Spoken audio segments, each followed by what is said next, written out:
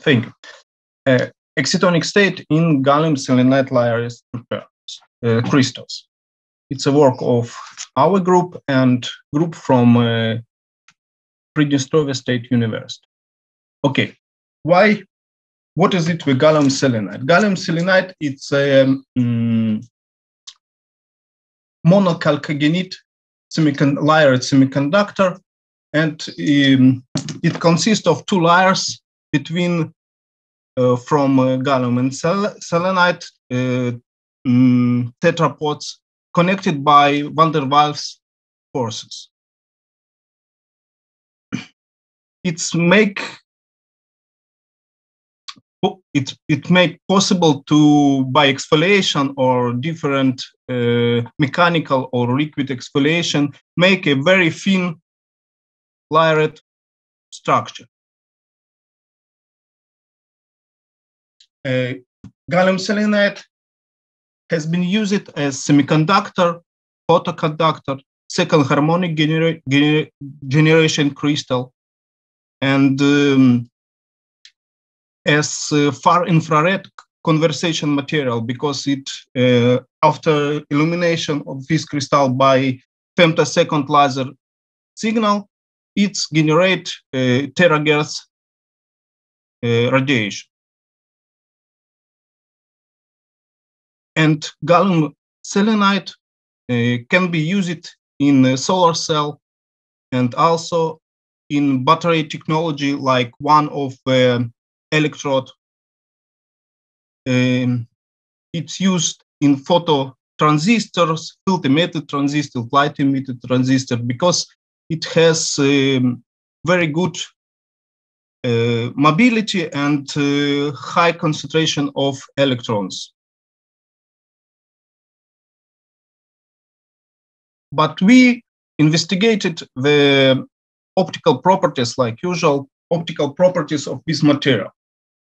Here you can see the um, crystals of gallium selenide. It's quite big and can be um, chipped from the cleavage phase. And we received the mirrored natural phase of gallium selenide. The crystal lattice it's looks like in the in the slide exists two types more types, polytypes, but you, uh, more common it's uh, beta and epsilon polytypes. We have the epsilon polytypes in our case because we measured the uh, Raman spectra and observed uh, phonons can allow us to contribute it to the uh, epsilon type of gallium selenide.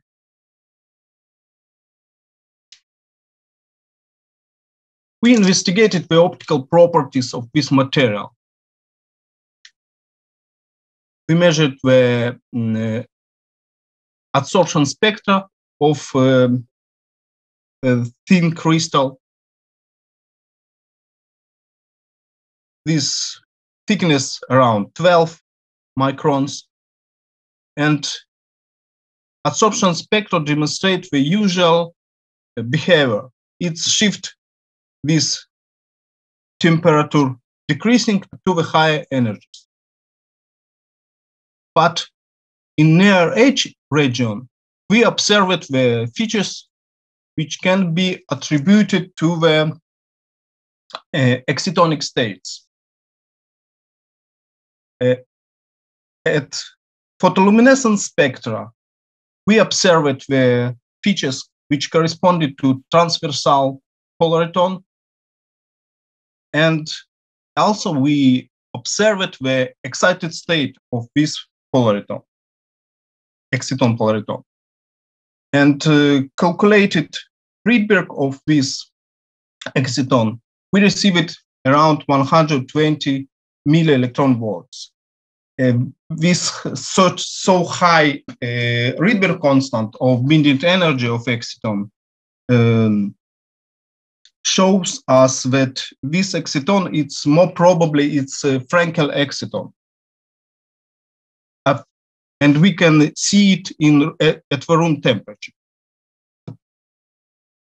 at the low temperature, we in the in the adsorption spectra see very sharp line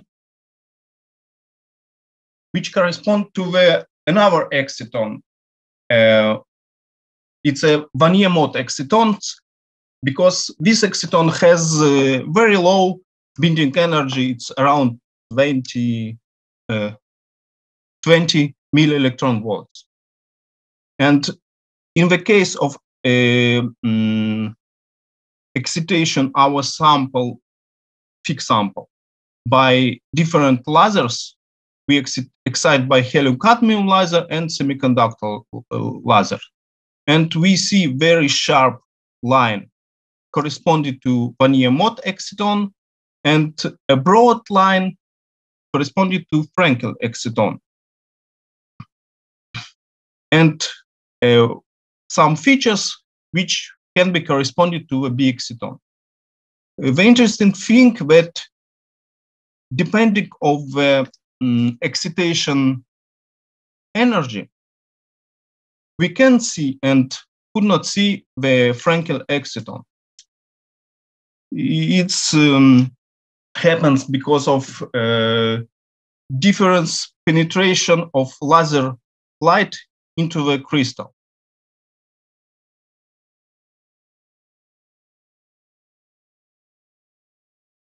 Um, polarization uh, uh, reflection spectra of measured at, at uh, low temperature show us the almost the regular excitonic reflection spectra. We see the ground state and excited state. We calculated the by dispersion equation this uh, with reflection spectra and uh, estimate or, received the parameters of exciton. Uh, background electric constant, energy of transversal exciton, longitudinal transversal splitting, damping constant, and effective mass of exciton. Also, we measured the temp temperature dependence of these peaks of corresponding to the Wannier Mott and Frenkel exciton and observed that um, Wannier Mott exciton shift with tem temperature to the higher higher energies, but Frenkel exciton shifts to, uh, to this temper temperature uh, decreasing to the lower end energies. We believe it that uh, uh, appears due to the interaction between electron in conduction band C1 this hole from conduction band V1. But Frenkel exciton appears due to the um, interaction between electron from conduction band C1 and hole through from conduction band V2. And this band has uh, splitting due to crystal field.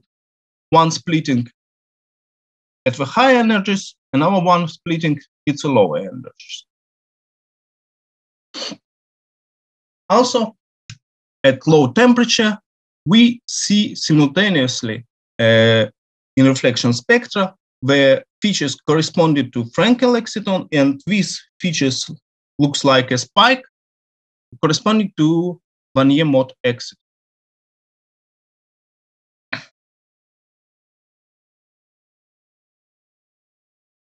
And uh, also the luminescence spectra um, is um, dependent from um, the, from the site of crystal where we illuminated by laser light. If we uh, excited with our sample to uh, this uh, uh, mirror surface, which we received by exfoliation or something like this, or chipped our crystal, uh, we received with, with uh, spectra were dominated the uh, um, excitation of Wannier Mott exciton. If we excited our sample by the back, um, by the front side of sample, we received the spectra were dominated with Frenkel exciton.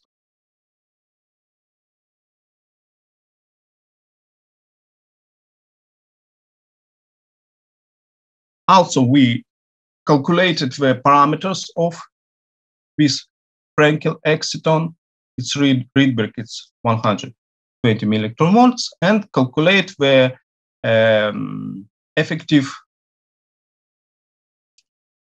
effective mass of electron and holes in um, different valence bands and parameters of X.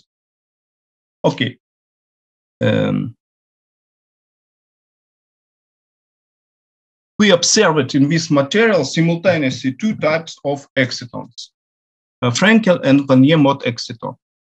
And we uh, calculated the parameters of these, uh, these excitons and uh, effective mass of electrons and holes in gamma point of in the center of Brillouin zone.